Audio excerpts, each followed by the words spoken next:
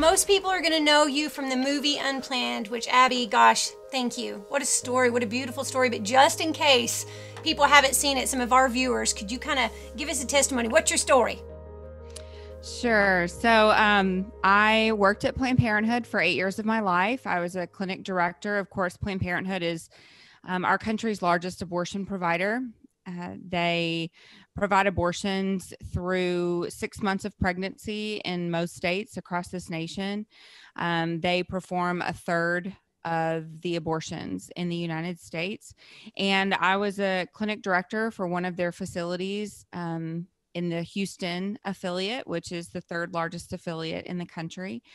Um, I was there for eight years. I believe that I was there helping women, um, doing the right thing for women. I believe that I was there to keep abortion safe, legal, and rare. That's what we heard from everyone in the media. That's what President said. That's what that's what the talking points were, right?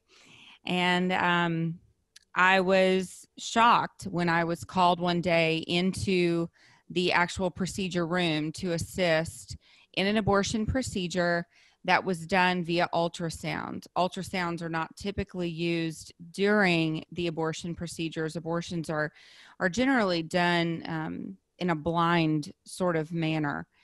Uh, the the doctor takes a, a, suction tube and and blindly inserts it into a woman's uterus and just pokes around in her uterus until he thinks he has enough blood and tissue in a glass jar. But we had a visiting physician come in and um, he wanted to show us what happens inside of the uterus during an abortion procedure. And he needed my assistance so that I could hold the ultrasound probe on the woman's abdomen during the abortion procedure. And um, we did the ultrasound. We found that the baby was just over 13 weeks along. Uh, everything is fully formed in the womb by 12 weeks gestation um, arms, legs, fingers, toes. Heart has been beating since 18 days after conception.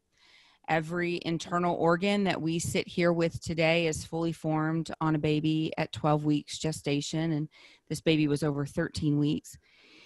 And uh, I sat uh, watching in horror as this 13 week old baby fought and struggled for his life against the abortion instruments. Hmm.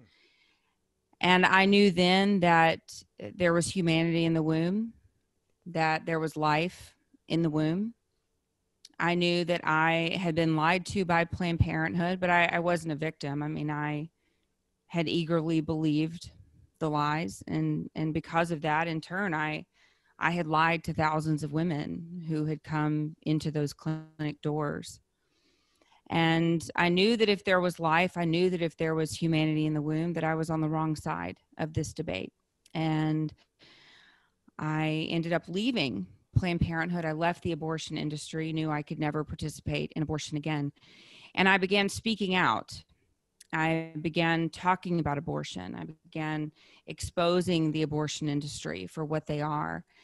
But I also recognize that since abortion has become legal since 1973. We have on record killed over 60 million babies by abortion in the United States.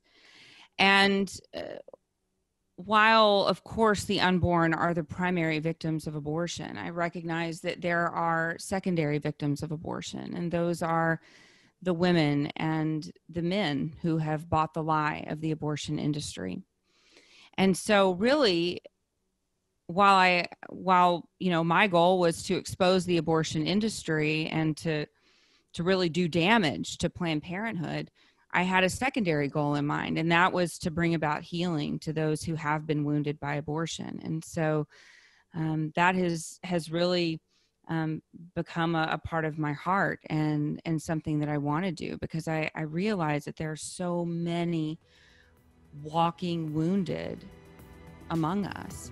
So many women and men who are carrying around that burden. Um, and they're carrying it around in silence, feeling like uh, they can't share, feeling like they can't shake this burden, this sin. And they are particularly in our churches.